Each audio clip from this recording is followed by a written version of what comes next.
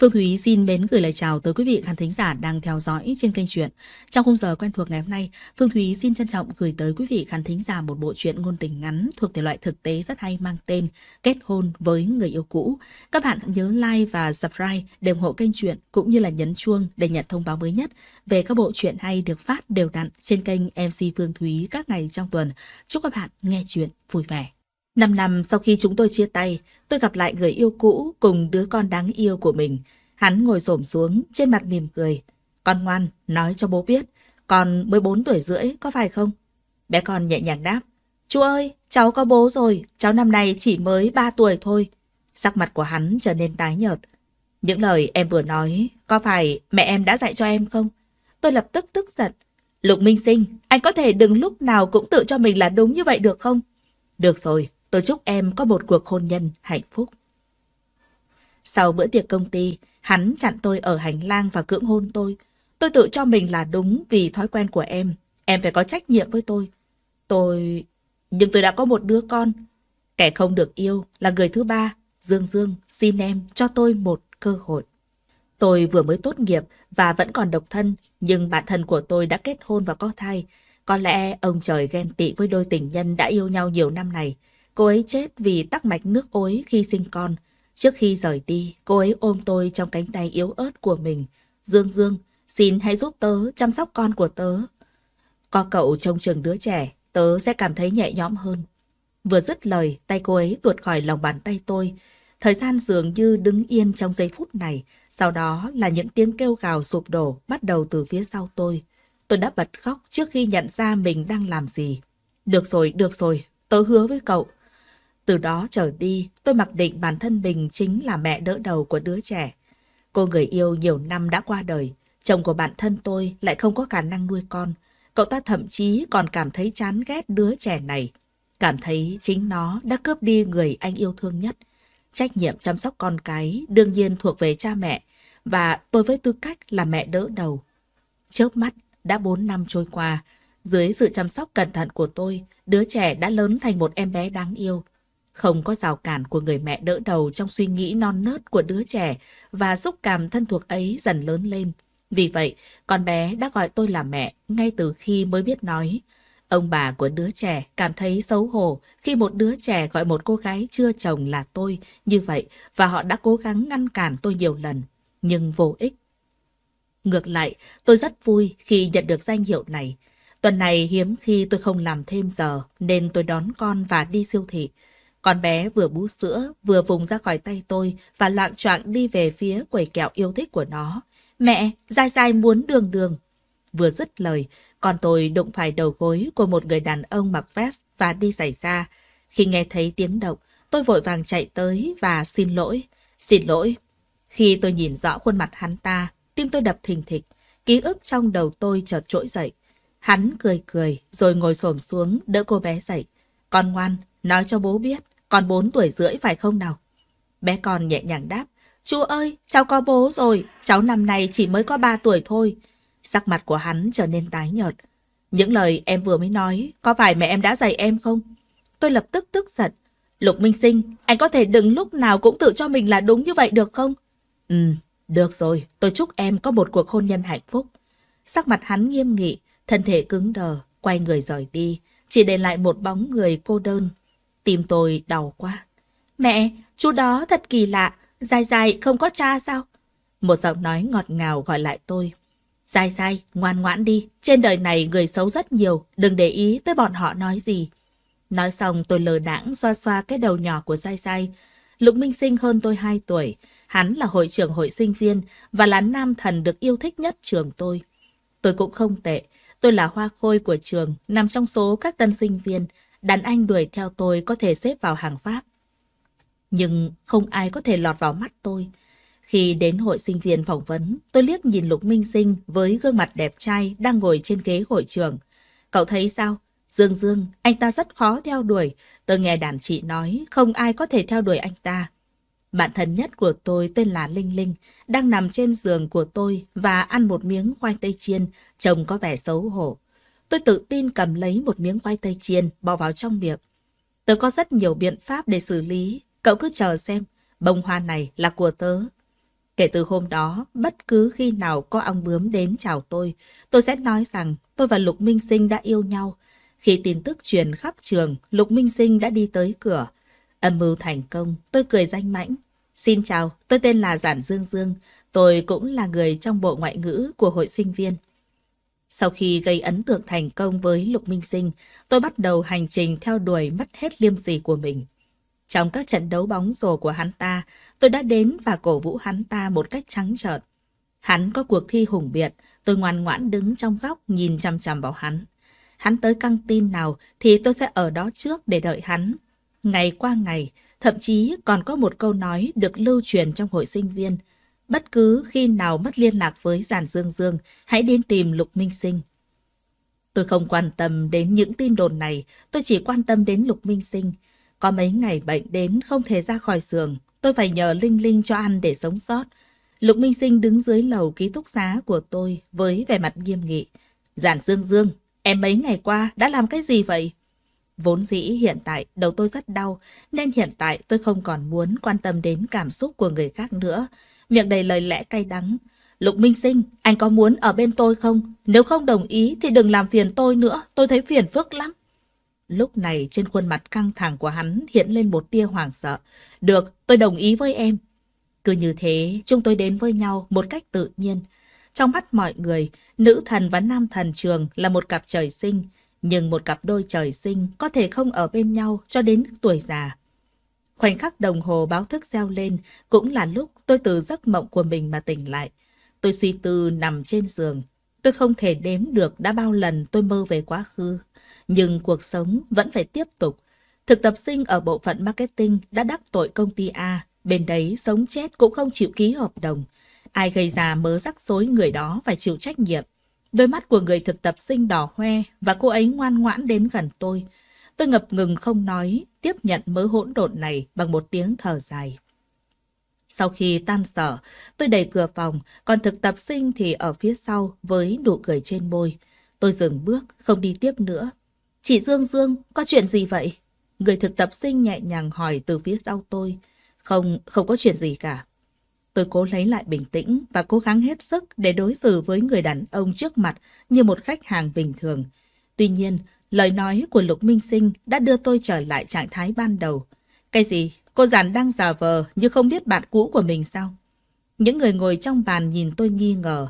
Tôi nở một nụ cười chuyên nghiệp và nói, anh Lục là nhân vật nổi tiếng của trường chúng ta, tôi không dám quên, tôi không dám quên.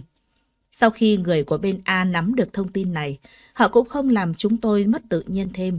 Hợp đồng được ký kết rất suôn sẻ, nhưng tôi cũng đã uống rất nhiều rượu trong bữa tiệc. Khi buổi tiệc kết thúc, Lục Minh Sinh đã chặn tôi lại khi tôi say khướt bước ra ngoài. Cô giản, để tôi chờ cô về. Trong giọng nói trong trào của Lục Minh Sinh mang theo ý cười. Những người còn lại trong phòng cũng không suy nghĩ nhiều, chỉ nghĩ rằng chúng tôi đã nhiều năm không gặp, ôn lại chuyện xưa một chút. Người thực tập sinh không hề say mà đứng ở hành lang chào tôi rồi rời đi. Chị Dương Dương, con gái chị dễ thương quá, lần sau chị dẫn bé đến chơi nhé. Tôi biết cô ấy muốn bày tỏ lòng biết ơn đến tôi nên tôi gật đầu mỉm cười. Tuy nhiên, Lục Minh Sinh đã tăng tốc độ và đi ngang qua tôi để tiến lên phía trước. Địa chỉ Chồng của cô Sản, có phiền khi có thêm một người bạn nam cùng cô đi về nhà không? Trong mắt Lục Minh Sinh hiện lên ý cười, nhưng lại không đến được khóe mắt. Tôi thích thú với sự lập dị của anh ấy. Tôi sống một mình. Nghe xong tôi thấy hắn cau mày, hắn tỏ vẻ tò mò mà nói thêm. Cho dù anh ấy ở đấy cũng sẽ không ngại. Ngoài ra, cảm ơn anh đã giúp tôi tối nay. Sắc mặt của hắn căng thẳng, không biết đang nghĩ gì, cũng không nói thêm gì. Bầu không khí trong xe lập tức nguội lạnh. Rượu cồn cào, điên cuồng xoay vòng trong đầu tôi. Tôi đau nhức dữ dội. Có vẻ như dưới ảnh hưởng của rượu, con người trở nên táo bạo hơn rất nhiều. Tôi xoa xoa thái dương, cười nửa miệng nói, anh Lục đúng là tốt thật đấy. Anh không cần giao du, không giống tôi. Tôi thậm chí còn không dám đẩy ly rượu mà người khác đưa cho mình. Lục Minh Sinh cười nghiến răng. Cô đùa rồi, làm sao tôi có thể giỏi bằng cô giàn được chứ? Mới có mấy năm mà đứa nhỏ kia đã lớn như vậy rồi. Tôi bàng hoàng nhìn vào khuôn mặt của hắn ta, như thể chuyện đó đã xảy ra cả đời rồi vậy. Có vẻ như hắn ta vẫn là Lục Minh Sinh, người đã cùng tôi đi dạo trong khuôn viên trường vào những buổi tối đại học năm ấy. Nếu đứa trẻ đó không thực sự là con của tôi thì sao? Hắn ta nhìn thẳng về phía trước và cười khẩy. Nhưng trên thế giới này sẽ không có trường hợp đúng không? Câu nói này giống như làm dấy lên một làn sóng trên mặt hồ yên tĩnh trong tôi. Tôi thì thầm trong sự ngây ngất và lặp lại lời nói của hắn ta. Ừm, thế giới này không có. Cô có thể đừng làm phiền Lục Minh Sinh nữa được không? Muốn trách thì cứ trách người làm mẹ như tôi ích kỷ. Tôi ngẩng đầu lên và nhìn người phụ nữ với đôi mắt nhăn nheo. Một nửa mái tóc đang buộc phía sau đã bạc trắng. Qua đó tôi có thể biết bà ấy, một người mẹ đơn thân đã nuôi lớn Lục Minh Sinh, khó khăn đến nhường nào. Bà ấy nói rằng Lục Minh Sinh đã từ chối toàn bộ lời mời đi du học cao học. Bà nói cho tôi nghe rằng bà có thể thấy con trai mình đã thay đổi rất nhiều và trở nên vui vẻ hơn sau khi yêu. Bà ấy nói chính vì điều này đã khiến Lục Minh Sinh coi tôi như báu vật và không muốn rời xa tôi.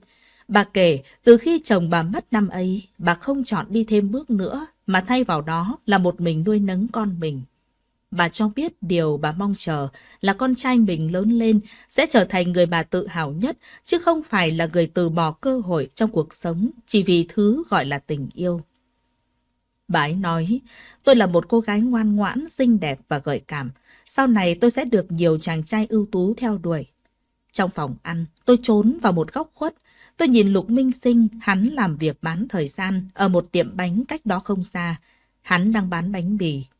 Buổi tối, tôi hẹn Lục Minh Sinh đến sân trường với vẻ mặt khá mệt mỏi. Chúng ta chia tay đi. Hắn ta tưởng tôi đang giận hờn vu vơ nên nhướng mày. Tại sao? Tôi đối xử lạnh lùng với hắn. Anh không thể cho tôi thứ tôi muốn. Hắn tỏ vẻ bất lực mà thở dài. Dương Dương, tôi sẽ cố gắng. Tôi kìm nén sự chua chát trong lòng mình. Cho dù anh có cố gắng cả đời thì cũng không thể thoát ra cảnh này đâu. Em cũng không muốn dành cả tuổi thanh xuân của mình để chờ đợi anh. Được, anh tôn trọng em. Hắn quay người rời đi, tấm lưng đầy vẻ mệt mỏi, được chiếu sáng bởi ánh sáng màu cam. Bóng lưng của ký ức năm ấy vẫn giống như bóng lưng tôi gặp lại mấy ngày trước. Đứng trên sân trường quen thuộc, tôi cảm thấy phía dưới mình có chút ươn ướt. Tôi giật mình tỉnh dậy trên giường, cảm thấy bụng dưới mình truyền đến cảm giác đau nhức quen thuộc. Chị Dương Dương, chị ổn chứ? Chồng chị có vẻ hơi yếu, chút nữa chị còn phải gặp khách hàng bên A nữa đây. Tôi nghe lời chào của người thực tập sinh và ngáp dài một tiếng. Không sao đâu, tôi chỉ đau vì bà dì hôm nay đến, cố gắng chịu đựng một chút là sẽ ổn thôi. Thực ra điều quan trọng nhất chính là giấc mơ của đêm qua, nó khiến tôi mất ngủ. Nhưng lần này bà dì hành tôi đau hơn bình thường, tôi thật sự sắp không thể chịu nổi nữa. Tôi lấy lại tinh thần và mang tài liệu đến phòng họp. Khi người bên A đến, không ngờ Lục Minh Sinh cũng xuất hiện. Với tư cách là người ở vị trí phó chủ tịch bên A, hắn ta không nên xuất hiện trong dự án hợp tác nhỏ nhặt như thế này. Cơn đau đột ngột tăng lên ở vùng bụng dưới, khiến tôi không thể quan tâm chuyện gì được nữa.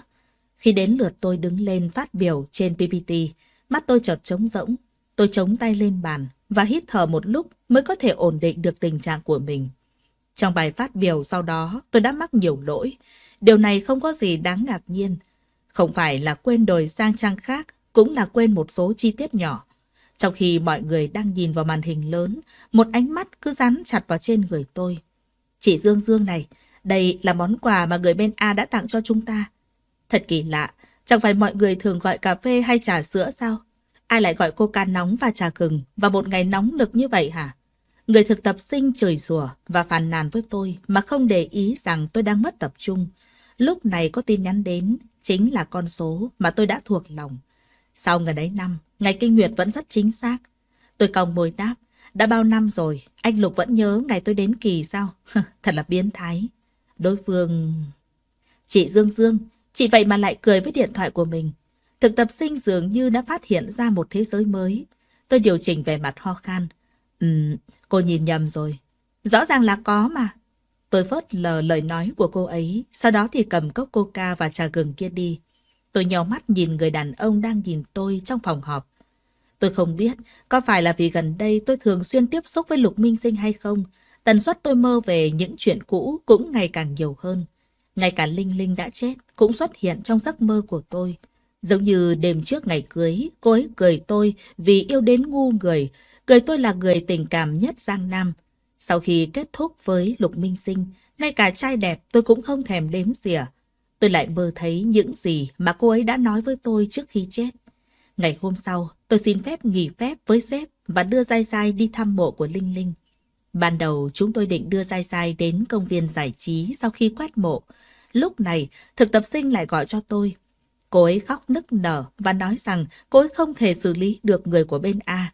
Tôi thở dài và yêu cầu tài xế taxi quay xe lại. Ông bà của Giai Sai sau khi biết tôi có thể chăm sóc cho con bé một ngày, đã cùng nhau đi đến bệnh viện để kiểm tra đường huyết và huyết áp của mình. Còn bố của Giai Sai thì đã bị trầm cảm nặng kể từ cái chết của Linh Linh, đương nhiên không thể chăm sóc cho Giai Sai được. Bấy giờ, tôi chỉ biết cắn răng mà đưa Giai Sai đến công ty. Wow, chị Dương Dương, con gái chị dễ thương quá. Chỉ là, tại sao cô bé trông không giống với chị vậy? Thực tập sinh nhéo khuôn mặt nhỏ nhắn của Giai Sai, trầm giọng hỏi. Tôi liếc nhìn Lục Minh Sinh, người đang tranh luận sôi nổi với cấp dưới qua bức tường kính trong suốt trong phòng họp. Tôi cười mà không nói gì. Ngược lại, chính chị Khương, hàng xóm ở bên cạnh nhà tôi, là người biết hoàn cảnh của tôi nên đã cất giọng giải thích giúp tôi. Dương Dương chỉ là mẹ đỡ đầu của con bé thôi, cô không biết sao? Người thực tập sinh chợt nhận ra. Chẳng trách, từ lâu tôi đã cảm thấy dáng người của chị Dương Dương không giống như là vừa mới sinh con. Tôi hồi hộp và mong đợi nhìn về phía phòng họp. Nhưng Lục Minh Sinh vẫn như cũ, đang cùng cấp dưới thương lượng, hoàn toàn không để ý tới tình hình bên ngoài. Cô không tìm ra nó hả? Có chuyện gì đang diễn ra vậy? Thực tập sinh lập tức vỡ quả nói. Được rồi, được rồi, tôi sẽ đưa cho anh ngay đây. Tôi quỳ xuống và bảo dai Sai ngồi yên ở trên ghế sofa và đừng đi lại lung tung nữa. Tôi bước đến chỗ làm việc của cô thực tập sinh và hướng dẫn cô ấy cách viết bản kế hoạch. Khi đã hoàn thành xong mọi việc, tôi vô thức liếc nhìn phòng họp từ khóe mắt. Tìm kiếm bóng dáng của người đàn ông đó, nhưng bóng dáng hắn ta không còn ở trong phòng họp nữa. Tôi không biết mình đang mong đợi điều gì. Chẳng lẽ tôi lại mong đợi hắn ta phát hiện ra mọi chuyện và đi hỏi mình hay sao? Mẹ ơi, đây là thứ lần trước chú đưa cho con. Đôi mắt tinh tường của tôi nhìn sang chiếc buộc tóc hình của cà rốt trên tay của con bé. Xét theo mức độ phai màu, món đồ này đã trải qua nhiều năm. Một loại cảm xúc khác xuất hiện trong tâm trí tôi và tôi không thể buông bỏ nó trong một khoảng thời gian. Tôi mỉm cười và chạm vào cái đầu nhỏ của dai sai. Mẹ, chú bảo khi nào chơi chán thì trả lại cho mẹ. Bởi vì năm đó mẹ đã đưa nó cho chú ấy, bây giờ chú ấy cũng đã trả lại cho mẹ. Nghe những lời của dai dai, mắt tôi trở nên khô khốc. Mọi thứ trước mắt tôi có chút mờ mịt. Tôi kìm nén cảm xúc nghẹn ngào, ngập ngừng thốt ra một câu từ trong miệng. Dai dai, con thật tốt. Hắn ta có phải chỉ đưa cho tôi một chiếc dây buộc tóc không? Hay đó là trái tim của hắn? Tôi lấy chiếc dây buộc tóc từ tay của Sai Sai và dùng ngón tay xoa xoa xung quanh. Quỹ đạo cuộc sống của chúng tôi từ lâu đã khác nhau. Hắn có lẽ chỉ cảm thấy không muốn chấp nhận những hối tiếc trong quá khứ của mình. Có lẽ bây giờ hắn ta đã bỏ cuộc rồi. Lúc tôi nắm tay Sai Sai chuẩn bị rời đi thì nghe thấy phía sau có người lo lắng gọi. Anh Lục, cuối cùng tôi cũng tìm được anh rồi. Anh làm sao mà đến được đây? Tôi sững sờ một lúc rồi bước thẳng về phía trước mà không ngoảnh đầu lại. Khi tôi đối xử với Lục Minh Sinh với tâm lý bình thường nhất có thể, cuộc sống của tôi dần trở về quỹ đạo vốn có. Mỗi lần gặp hắn, tôi đều chào hắn một cách lịch sự. Khi tôi vô tình chạm vào ánh mắt đầy bí ẩn của hắn, tôi chỉ mỉm cười đáp lại. Hắn ta đặc biệt lấy những hộp cơm trưa phù hợp với khẩu vị của tôi, rồi đưa cho tôi. Tôi cũng vui vẻ nhận lấy. Chẳng bao lâu, việc hợp tác với bên A đã được hoàn thành vô cùng suôn sẻ. Về phần hợp đồng đầu tiên, Lục Minh Sinh gật đầu và nhận lấy sau khi đọc nó. Cũng may là tôi hợp tác được với hắn ta. Nếu không, món ăn vặt bữa trưa mà tôi yêu thích cũng thật sự không thể nuốt trôi. Trên đường đi dự tiệc mừng công ty, người thực tập sinh có chút ngại ngùng bước tới. Chị Dương Dương, anh Lục đối diện, không phải có hứng thú với chị đấy chứ? Nếu không thì tại sao anh ta luôn nhìn chằm chằm vào chị như thể đang dình con mồi và còn nhiều hơn thế nữa? Khi tôi hỏi thông tin liên lạc của anh ấy, anh ấy không cho tôi, thay vào đó anh ấy lại xin số của chị. Tôi mở to mắt, nhìn cô ấy rồi bỏ đi. Hoa ra cô là một người phản bội, lại đem số điện thoại của tôi cho hắn. Tôi nên nói như thế nào đây? Cô ấy trông có vẻ như không hiểu, nên đi tới, tiếp tục hỏi. Sao vậy? Có chuyện gì hả? Không sao đâu, cô có hứng thú với hắn ta như vậy. Sao không đi làm thân đi? Cô ấy có vẻ bối rối. Tôi cũng nghĩ như vậy. Anh Lục rất đẹp trai, nhưng anh ấy không có hứng thú với tôi. Tôi nhìn ra cửa sổ, nơi ánh đèn trên cây neon đang nấp nháy, im lặng mà không đáp lại. Trong bữa tiệc hôm nay, ai nấy cũng đều vui vẻ. Mọi người đều nói rằng đã lâu rồi họ chưa có được sự hợp tác nào thuận lợi như vậy. Mọi người ai cũng đều có chút say. Lục Minh Sinh gương mặt trông đặc biệt nghiêm túc. Lúc đầu không ai dám nâng cốc chúc mừng hắn. Hắn ta nổi tiếng là người lạnh lùng và kiêu ngạo trong công ty của họ. Nhưng tôi không sợ hắn ta, nên cầm ly rượu bước tới chỗ hắn ta để làm chim dẫn đầu. Hắn bất ngờ một lúc, khuôn mặt không chút biểu cảm, khiến không ai có thể đoán được hắn đang nghĩ gì trong đầu nữa. Đúng lúc tôi và mọi người tưởng hắn có ý từ chối, thì hắn ta đã cầm ly rượu lên và uống. Có con chim dẫn đầu, sẽ có một lượng lớn người đi theo sau. Những người tiếp đó như có thêm dũng cảm mà đi đến nâng ly chúc mừng hắn. Hắn không từ chối bất cứ ai đến và uống hết rượu. Tôi thuê một căn nhà kiểu căn hộ. Tôi bước nhẹ nhàng, xách túi và ngân nga một bài hát đi vào hành lang tối mờ. Đột nhiên, một bóng người cao lớn nhanh chóng tiến về phía tôi. Tim tôi đập mạnh như thể muốn nhảy ra khỏi người mình vậy.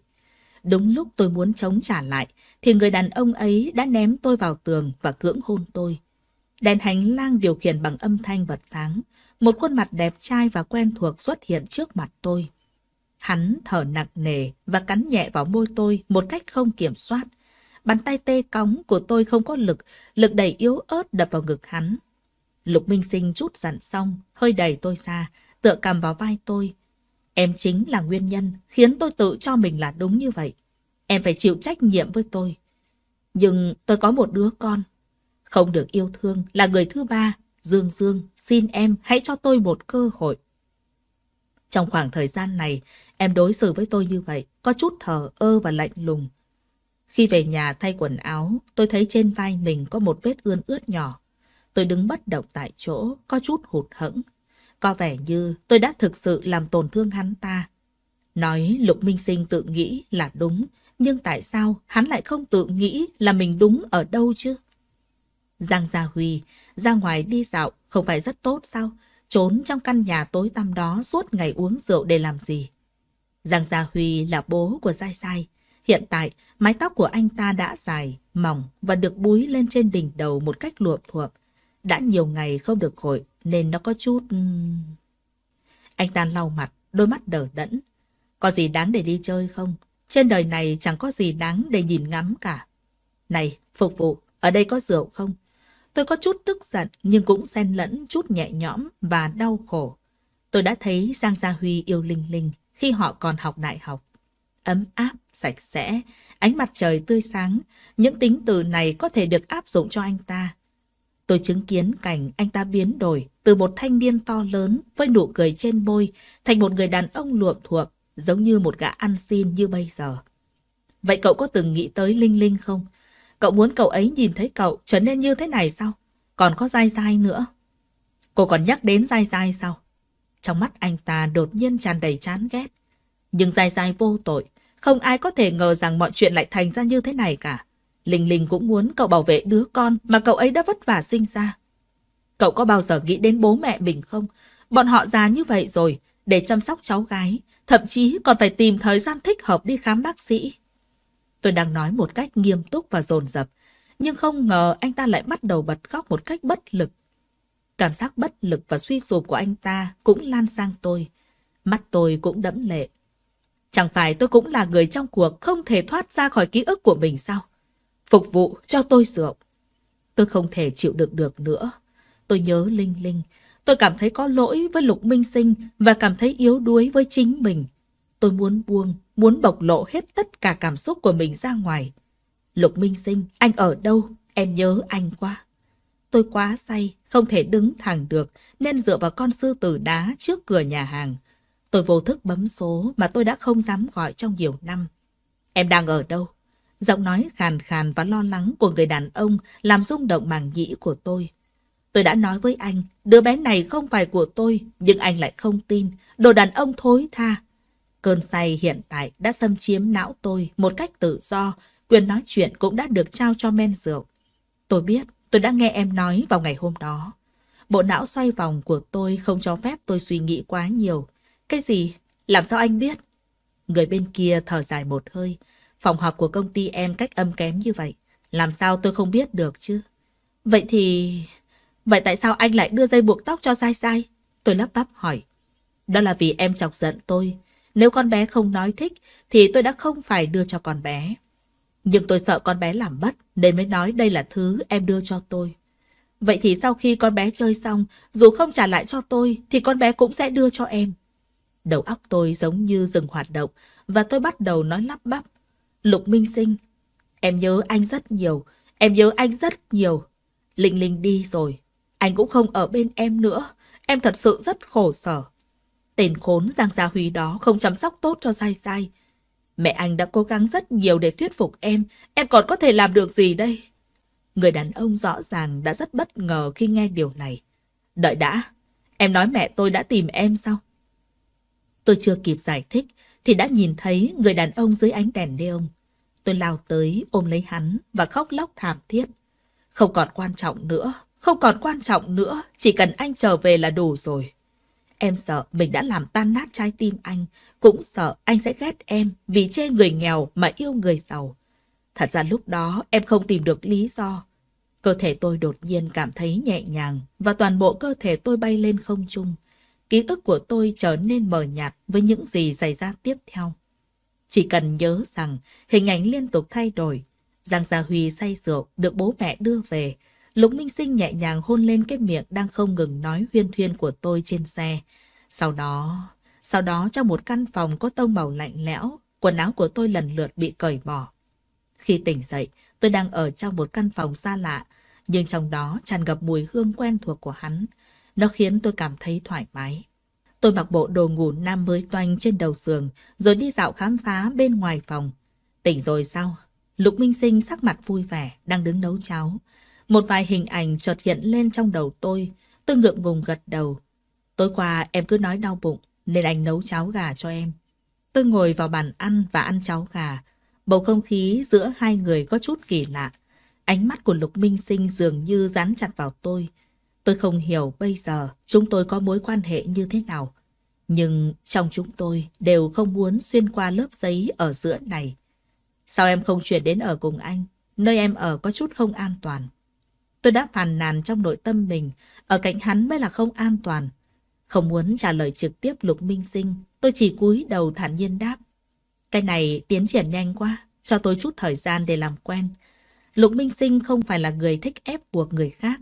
Sau khi đặt thìa xuống, hắn ta nhìn tôi bằng ánh mắt chiều mến. Được rồi, nghe theo em. Đôi mắt sắc bén của hắn khiến tôi cảm thấy rất khó chịu. Đúng như lời thực tập sinh đã nói, tôi hiện tại giống như một con mồi đang nằm trong lòng bàn tay của hắn vậy. Lục Minh Sinh đích thân chờ tôi về. Khi xe dừng lại, hắn ta nghiêng người về phía tôi một cách mờ ám. Tôi lắng nghe tiếng thở của hắn và nhắm chặt mắt lại. Giọng nói của hắn kéo tôi về thực tại. Hắn cởi dây an toàn cho tôi. Tôi mong đợi một nụ hôn, nhưng không có. Ngược lại, còn nhận lại sự trêu chọc của hắn. Sao thế? Em muốn tìm lại cảm giác như tối hôm qua sao? Tôi trừng mắt nhìn vào đôi mắt sâu thẳm của hắn ta, cảm thấy vừa tức giận vừa xấu hổ. Không biết xấu hổ. Nói xong tôi nhanh chóng chạy trốn khỏi hắn. Vừa về đến nhà, bộ áo giáp nặng nề của tôi dường như được cởi bỏ ngay lập tức. Khi cởi đôi giày cao gót của bạn ra, và bạn sẽ cảm thấy thoải mái toàn thân. Tôi ôm chăn lăn lộn trong phòng ngủ, trong đầu không khỏi hồi tưởng lại những chi tiết nóng bỏng nhỏ nhặt của đêm qua. Nhân tiện, có vẻ như hắn ta không đeo nó. Tôi chợt tỉnh táo nhấc điện thoại lên, định nhắn tin hỏi Lục Minh Sinh. Tuy nhiên, một thông báo xác minh bạn bè đã xuất hiện trên WeChat. Avatar đó vẫn là chú cún con dễ thương mà tôi đã chọn cho nó hồi đó. Tôi vội vàng muốn hỏi rõ mọi thứ, hỏi qua tất cả. Chỉ trong vài giây, có vẻ như em đang chờ đợi anh. Tôi... Thế nào, em vẫn không muốn thừa nhận sao? Tối qua em không như thế này đâu. Tôi... Nghiêm túc, tôi hỏi anh một câu. Tối qua anh có mang nó không? Không, nhưng em sẽ ổn vì đang trong khoảng thời gian an toàn. Tôi đã tính toán thời gian rất kỹ và có vẻ như đó thực sự là khoảng thời gian an toàn. Những chuyện to lớn trong tâm trí tôi cuối cùng cũng kết thúc. Những ngày tiếp theo, Lục Minh Sinh luôn có mặt ở tầng dưới đúng giờ trước khi tôi đi làm. Hắn còn chu đáo mang bữa sáng cho tôi. Tên thì đẹp, nhưng với tính tình lười biếng của mình, chắc chắn tôi sẽ ngủ đến phút cuối cùng. Sau đó tôi vội vội vàng vàng chạy về công ty, chưa kịp mua bữa sáng. Tôi đang ăn một cái bánh bao ở ghế phụ thì bị nghẹn. Sau khi tan sở, hắn sẽ đưa tôi đi đến nhiều nhà hàng khác nhau. Chúng tôi cư xử như một cặp đôi bình thường đang yêu đương. Chúng tôi chia sẻ thói quen hàng ngày tại nơi làm việc và cùng nhau ăn uống và chơi cùng nhau sau giờ làm việc. Điểm khác biệt duy nhất là hai chúng tôi không có quá nhiều sự tiếp xúc thân thiết. Ăn tối xong, Lục Minh Sinh đưa tôi về nhà. Cuộc sống thoải mái và tươi đẹp như vậy khiến tôi cảm thấy có chút không chân thực. Hôm nay, khi tôi đang giải lao ở nơi làm việc, tôi đã tìm ra một cách mới để làm món cà ri gà. Tôi vô thức gửi liên kết cho Lục Minh Sinh. Hắn cũng nhanh chóng trả lời tôi một từ, tốt.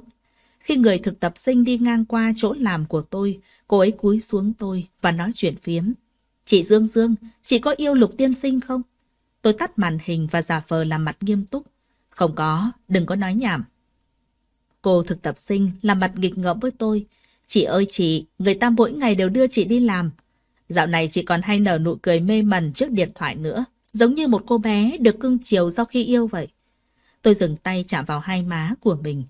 Có thực sự rõ ràng đến thế không?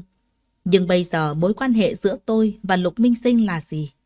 Buổi tối tôi gác chân lên ghế sofa và xem phim. Lục Minh Sinh đang bận rộn trong bếp. Đột nhiên có tiếng mở cửa. Tôi đưa ánh mắt nghi ngờ nhìn về phía đó. Có ai biết mật khẩu ở đây không? À, gì, được rồi. Tôi cười ngượng nghịu. Lục Minh Sinh sau khi nghe thấy tiếng động cũng chạy ra khỏi bếp. Mẹ, sao mẹ đến đây mà không nói tiếng nào vậy? Nhận thấy tư thế của mình không ổn lắm, tôi vội vàng lấy cái chân trên ghế sofa đặt xuống đất. Sau khi Lục Minh Sinh chào hỏi xong, hắn tiến tới và siết chặt vai tôi. Hắn thì thầm với tôi, nếu không chịu được thì xuống bếp giúp anh. Nói xong hắn quay lại bếp, rồi nhìn đồ ăn đang nấu trong nồi. Tôi sợ phải ở chung với những người lớn tuổi, nên vô thức muốn tìm chỗ trốn đi. Dì, dì ngồi đi, để cháu đi xem Minh Sinh có cần giúp đỡ gì hay không ạ? Cứ để nó làm việc của nó đi, cô ngồi xuống và nói chuyện với tôi. Nghe xong tôi chỉ biết cắn răng ngồi xuống. Tôi lo lắng siết chặt cái ly trong tay. Không tự chủ được mà khẽ liếc nhìn người phụ nữ một chút. Ngoại hình của bà ấy đã có sự thay đổi rất lớn. Không phải dáng người đã tìm đến tôi ở 5 năm trước. Hiện tại, tóc bà ấy đen tuyền, có lẽ là do thuốc nhuộm. Khuôn mặt bà không còn vẻ mệt mỏi như trước, mà thay vào đó đã trông dạng dỡ hơn. Có lẽ bà ấy trở nên tốt như hiện tại là do khả năng kiếm tiền của Lục Minh Sinh. Một lần nữa tôi cảm thấy sự quyến rũ của đồng tiền. Lúc này bà đang mỉm cười hiền hậu. Cô là bạn gái hồi đại học của thằng bé năm đó sao? Tôi gật đầu. Cô vẫn xinh đẹp như lúc trước. Đang ở bên nhau hả? Tôi siết chặt chiếc ly trong tay, không dám đáp lại. Bởi vì tôi không biết mối quan hệ của chúng tôi bây giờ là gì. Mập mờ sao? Bà mỉm cười dịu dàng. Con à, con có còn trách gì vì những gì dì đã nói với con lúc đó không? Không, không ạ, cháu không có trách gì. Tôi lo lắng giải thích. Vậy thì tốt. Năm đó dì chia cắt hai đứa, nhìn thấy vẻ mặt thống khổ cùng tuyệt vọng của Minh Sinh. Dì rất hối hận và mất ngủ nhiều đêm, nhưng những tổn thương đã xảy ra và không có cách nào để bù đắp được. Bây giờ lại thấy hai đứa ở bên nhau, dì cảm thấy rất vui. Tôi ngạc nhiên ngẩng đầu lên và lấy hết can đảm để hỏi.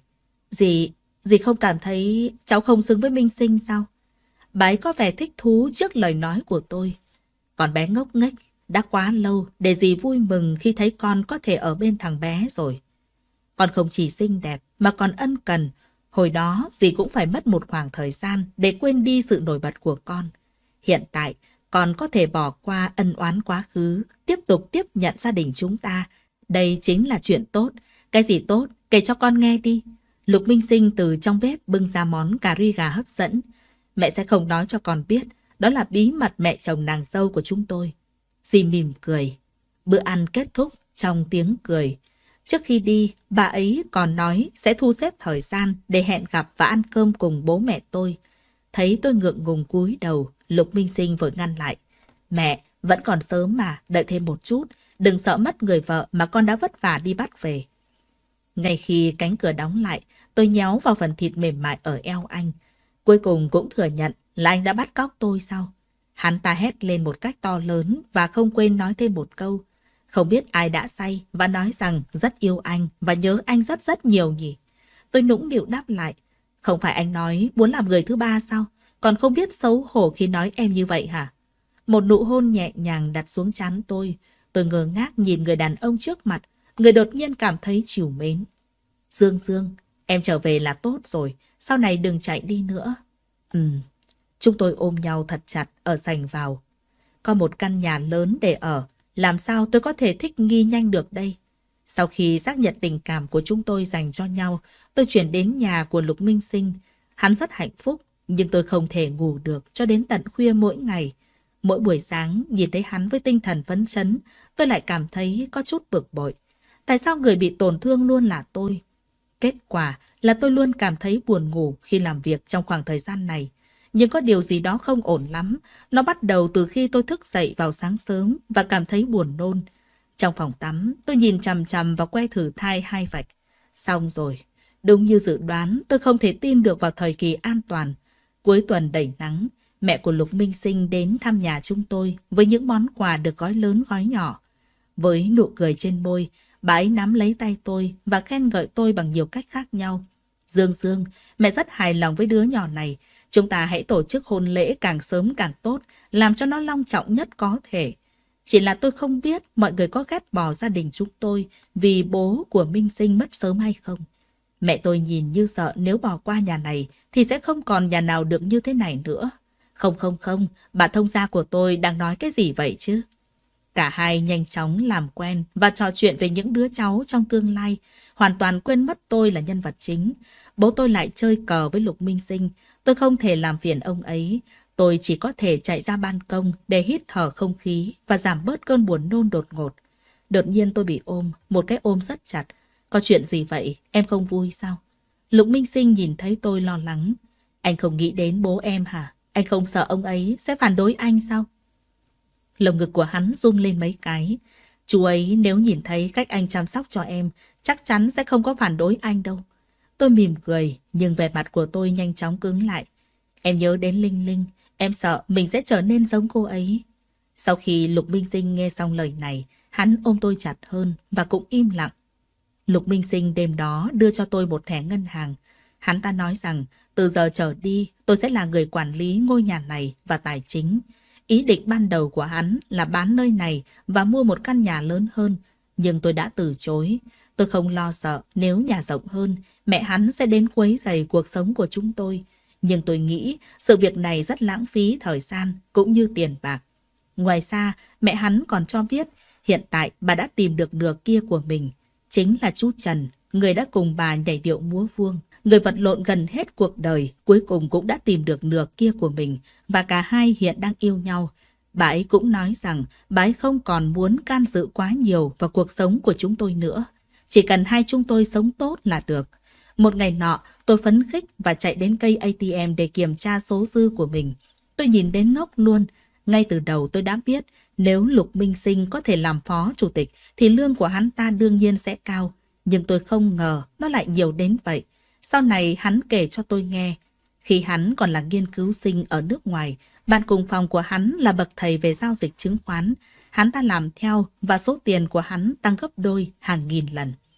Ngay khi tôi nghĩ mọi thứ đang diễn ra tốt đẹp, Giang Gia Huy tự sát. Tin tức này vừa bất ngờ nhưng có lẽ có phần hợp lý. Kể từ khi bị trầm cảm, anh ta đã thử nhiều phương pháp để tự tử khác nhau. Lần này anh ta đã thành công. Trong đám tang, Lục Minh Sinh ôm chặt vai tôi. Tôi có những cảm xúc lẫn lộn trong lòng. Giang Gia Huy đã đạt được mong muốn của mình. Anh đã đi tìm Linh Linh như bản thân mình mong muốn. Nhưng sai sai phải làm sao đây? Tôi nhìn con bé quỳ trên mặt đất, khóc đến đau lòng. Tôi biết chuyện này rất đau khổ. Khi dài dài chú ý đến tôi, con bé đang khóc và loạn choạng đi về phía tôi.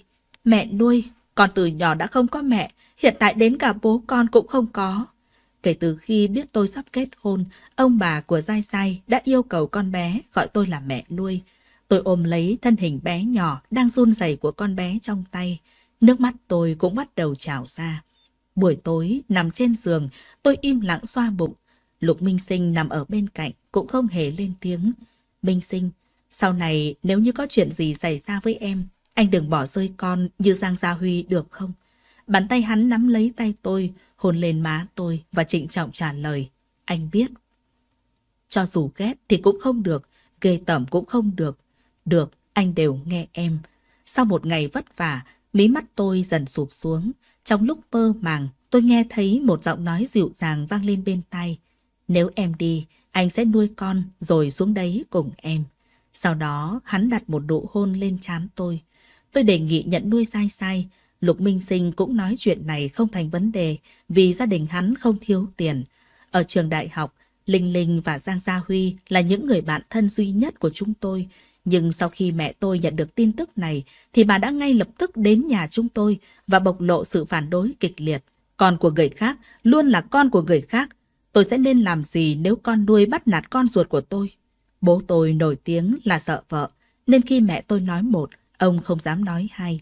Lục Minh Sinh cũng chỉ dám nhỏ giọng ủng hộ tôi khi tôi đi pha trà. Còn mẹ của Lục Minh Sinh, bái biết rõ một đứa trẻ không có bố mẹ sẽ bi thảm như thế nào. Bái đến nhà chúng tôi và nghe thấy tiếng mẹ tôi gầm lên ngay khi vừa bước vào cửa. Ôi, bà thông gia ơi, bình tĩnh, bình tĩnh. Chúng ta hãy nghĩ lại xem, đây tuy không phải là chuyện tốt, nhưng cũng là lòng tốt của bọn trẻ. Đứa trẻ đó cũng nghèo, bố mẹ đều đã mất. Bố của Minh Sinh mất sớm, chúng tôi thường xuyên bị bắt nạt, trong nhà ai cũng coi thường chúng tôi. Sau khi nghe một số kinh nghiệm do mẹ của Lục Minh Sinh kể lại, lúc đó tôi mới bắt đầu hiểu tại sao lúc đó bà ấy lại đến gặp tôi. Đây là hy vọng duy nhất của bà trong nhiều năm như vậy. Cả hai đều có cuộc sống khó khăn nhưng hạnh phúc. Nếu Lục Minh Sinh không thành công, có thể ở nông thôn bọn họ vẫn bị coi thường. Lục Minh Sinh còn bị người khác đối xử lạnh nhạt và bị gọi là đứa trẻ không có bố nữa ư. Trên thực tế, lời thuyết phục của mẹ Lục Minh Sinh vô cùng có ích. Mẹ tôi nghe xong liền nắm tay Lục Minh Sinh. Con trai, con đã phải chịu đựng nhiều năm như vậy rồi. Sau này nếu có chuyện gì xảy ra thì hãy đến nhà của chúng ta. Chú sẽ giúp đỡ con, được không? Mẹ của Lục Minh Sinh che miệng cười nói. Con còn gọi người ta là chú sao? Lục Minh Sinh cũng rất lễ phép nở nụ cười ngọt ngào. Bố, ừ. Tôi vuốt ve bụng mình và nhìn tất cả những chuyện đang diễn ra, lòng cảm thấy nhẹ nhõm. Hóa ra, hạnh phúc của con người đơn giản đến thế. Tiếng cười của một gia đình và những người bạn yêu thương luôn ở bên cạnh bạn. Mẹ tôi cũng thoải mái hơn sau chuyện này. Người ta nói rằng ông bà của Giai Sai phải đồng ý thì mới có tác dụng. Mẹ tôi nói khá đúng, còn ông bà của Giai Sai thì không đồng ý. Dài dài là mối liên kết cuối cùng giữa hai người lớn tuổi trên thế giới này. Nếu chúng tôi đưa con bé đi, họ sẽ chẳng còn có ý nghĩa gì khi sống nữa. Nhưng tôi vẫn không an tâm, liên tục nói đủ thứ. Nếu hai người cần giúp đỡ, bất cứ điều gì, cháu và Minh Sinh sẽ cố gắng giúp đỡ. Sau khi nghe điều này, ông bà của Giai Giai rất hài lòng. Chỉ cần hai người có lòng là được rồi. Thật vinh dự cho Linh Linh và Gia Huy khi có được người bạn như cháu trong đời.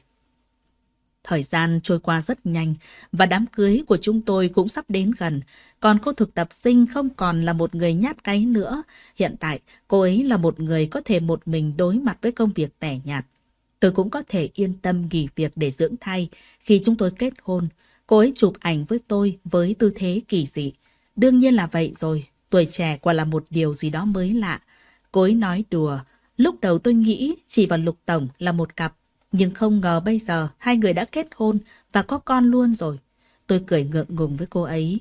Đám cưới của tôi không có phù dâu vì tôi đã hứa với Linh Linh. Tôi kết hôn và vị trí phù dâu là của cô ấy. Và tôi đã giữ lời hứa, nhưng cô ấy lại thất hứa. Nhưng may mắn thay, chúng tôi có sai sai, đứa trẻ mang hoa và nhẫn đến trong lễ cưới của tôi. Mọi chuyện trong đám cưới diễn ra rất suôn sẻ. Hai tuần trước ngày dự sinh, nước ối của tôi bị vỡ khi đang mang thai. Tôi luôn bị chuột rút vào nửa đêm. Lục Minh Sinh trong khoảng thời gian này không dám ngủ quá sâu. Hắn ta có thói quen thức dậy vào lúc nửa đêm để kiểm tra xem tôi có khỏe không. Lần này hắn thấy ga trải giường ướt đẫm. hắn ta nhanh chóng đánh thức tôi dậy và đưa tôi đến bệnh viện. Biết tôi lo lắng về việc sinh con, Lục Minh Sinh đã đặc biệt chọn bệnh viện tư nhân thật tốt khi lúc tôi chuyển dạ có hắn ở bên cạnh. Nhưng tai nạn vẫn xảy ra. Đầu của thai nhi quá lớn và xương chậu của tôi thì không thể mở được. Đứa trẻ phải mất một thời gian dài mới ra khỏi bụng tôi. Sau một thời gian dài đau đẻ, móng tay của tôi thậm chí còn cào xước những vết máu trên tường. Lục Minh Sinh nhanh chóng cầm lấy tay tôi, đưa đặt lên trên miệng hắn. Nhưng hiện tại, tôi đã rơi vào trạng thái hôn mê. Trong lúc ý thức mơ hồ, tôi mờ ảo nhìn thấy Lục Minh Sinh đang khẩn trương mà khóc. Một lượng lớn bác sĩ và y tá mặc đồ màu xanh lá tụ tập xung quanh tôi. Cuối cùng thì tôi cũng nhận ra nỗi đau mà Linh Linh đã trải qua. Tôi xuất hiện trong một thế giới tối tăm. Chỉ có một tia sáng trước mặt dẫn đường cho tôi tiến về phía trước. Tôi chạy theo ánh sáng. Tôi tưởng đây là lối thoát duy nhất để tôi quay trở lại thế giới thực. Ngay khi tôi sắp tiếp xúc với chùm ánh sáng đó, một giọng nói mà tôi suýt quên đã xuất hiện. Dương Dương, đừng đi, con của cậu đang đợi cậu. Cậu đi thì sẽ ra sao? Cậu đã hứa với tớ sẽ chăm sóc thật tốt cho Sai Sai. Nếu cậu đi, con của cậu sẽ ra sao? Dài dài sẽ ra sao? Đột nhiên, bóng dáng của Linh Linh xuất hiện trước mặt tôi. Tôi thậm chí còn không cảm thấy sợ hãi, bởi vì ngoại hình và trang phục của cô ấy vẫn giống như hình ảnh trong ký ức thời đại học của tôi. Phía sau cô ấy, Giang Gia Huy cũng xuất hiện. Anh ta ôm Linh Linh vào lòng và nói với tôi, cậu có bao giờ nghĩ đến Lục Minh Sinh không? Cậu sẽ như thế nào nếu như Lục Minh Sinh không còn nữa? Bộ dạng của Giang Gia Huy lúc này không còn là hình ảnh luộp thuộp mà anh có sau khi mất Linh Linh nữa. Giống như Giang Gia Huy sạch sẽ và tươi sáng, người luôn bên cạnh Linh Linh ở trường đại học năm đó. Đúng vậy, Lục Minh Sinh sẽ ra sao đây? Lục Minh Sinh sẽ làm gì nếu tôi không còn nữa? Hai người phía trước mỉm cười và dẫn tôi tới nơi tối tăm. Họ bảo tôi đừng sợ, bảo tôi cứ chạy về phía trước, họ sẽ luôn bảo vệ tôi. Tôi giật mình và mở mắt, tiếng khóc của mẹ vang vọng cả phòng bệnh. Bác sĩ, bác sĩ, em ấy tỉnh rồi, mau tới đây. Tôi nhìn thấy Lục Minh Sinh đang nắm chặt tay tôi, hai mắt đỏ ngầu, cầm đầy sâu. Anh mím chặt môi và nước mắt lại rơi xuống. Dương Dương, anh suýt nữa, anh suýt nữa đã mất em. Suýt chút nữa, anh đã trở thành Giang Gia Huy tiếp theo. Dương Dương, thiếu em, anh không thể sống được. Anh đã đeo mặt nạ dưỡng khí và rơi nước mắt. Tôi bị xuất huyết nặng khi sinh con. Và mọi người bắt đầu bị sốc khi nhìn thấy tôi co giật. May mắn thay, việc giải cứu đã kịp thời. Nhưng tôi cũng bị hôn mê vài ngày. Bác sĩ còn nói rằng tôi có thể sẽ rơi vào trạng thái thực vật. Nhưng may mắn thay, tôi đã sống sót. Khi cơ thể tôi gần như đã bình phục hoàn toàn, tôi kể lại trải nghiệm của mình sau khi rơi vào tình trạng hôn mê. Lục Minh Sinh cũng nói rằng lúc đó tim tôi đã ngừng đập. Tôi đã được bác sĩ tiêm hormone Isperafin cứu sống. Mẹ tôi nghe xong thì liền nhắm mắt lại, chắp tay lên trời và cúi người. Cảm ơn Linh Linh và Gia Huy, hai đứa trẻ ngoan đã đưa đứa con gái nhỏ bé dương dương của dì từ địa ngục trở về. Từ đó mẹ tôi không còn ghét dai dai nữa. Bố tôi thậm chí còn coi dai dai là cháu gái ruột của mình. Đúng rồi, tôi đã sinh được một đứa con trai, ước muốn có con gái của Lục Minh Sinh không thành công. Ngay sau đó, Lục Minh Sinh nảy ra ý tưởng triệt sản bản thân. Hắn sợ, hắn không dám để tôi mạo hiểm như vậy nữa. Hắn nói hắn sợ mất tôi. Dù tôi từ chối, nhưng hắn vẫn bí mật tự mình thực hiện ca phẫu thuật. Tôi không biết nên cười hay nên khóc. Tôi còn có thể làm gì được nữa. Tôi chỉ có thể dưỡng sức khỏe cho hắn. Và một đêm lễ tình nhân, đứa trẻ được giao lại cho ông bà ngoại. Lục Binh Sinh ôm tôi trên giường, hôn tôi say đắm.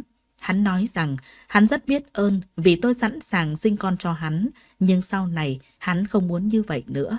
Hắn nói rằng từ nhỏ đã phải chịu nhiều đau khổ, nhưng khi gặp được tôi là niềm an ủi lớn nhất mà ông trời dành cho hắn. Hắn kể những năm mất tôi, hắn phải dựa vào thuốc ngủ mới ngủ được. Hắn nói rằng khi trở về Trung Quốc, hắn đã cố gắng hết sức để tìm thông tin liên lạc của tôi nhưng không có kết quả. Hắn nói rằng WeChat của tôi và Linh Linh đều đã khóa và WeChat của Giang Gia Huy thì lại giống như bị bỏ hoang. Hắn kể rằng khi chúng tôi gặp lại nhau lần đầu tiên, hắn đã cố gắng hết sức để kìm nén cảm giác muốn tiến lên và ôm tôi thật chặt. Hắn kể rằng hắn luôn mang chiếc dây buộc tóc bên mình, có lần hắn làm mất nó và phải mất cả đêm mới tìm lại được. Hắn nói dù không biết tôi chưa kết hôn, nhưng hắn vẫn muốn cướp tôi về. Hắn ta nói rằng mẹ hắn gọi cho tôi để xin lỗi. Hắn nói tôi không thể làm chuyện như thế này được. Hắn nói rằng hắn thực sự không thể sống thiếu tôi, nên tôi phải sống lâu trăm tuổi. Hắn nói tôi là vết sẹo trong lòng hắn mà cả đời này hắn cũng không thể xóa bỏ được. Các bạn thân mến, các bạn vừa nghe xong bộ truyện ngôn tình rất hay mang tên Kết hôn với người yêu cũ. Các bạn nhớ like và subscribe để ủng hộ kênh truyện cũng như là nhấn chuông để nhận thông báo mới nhất về các bộ truyện hay được phát đều đặn trên kênh MC Phương Thúy các ngày trong tuần. Chúc các bạn nghe chuyện vui vẻ. Xin tạm biệt và hẹn gặp lại.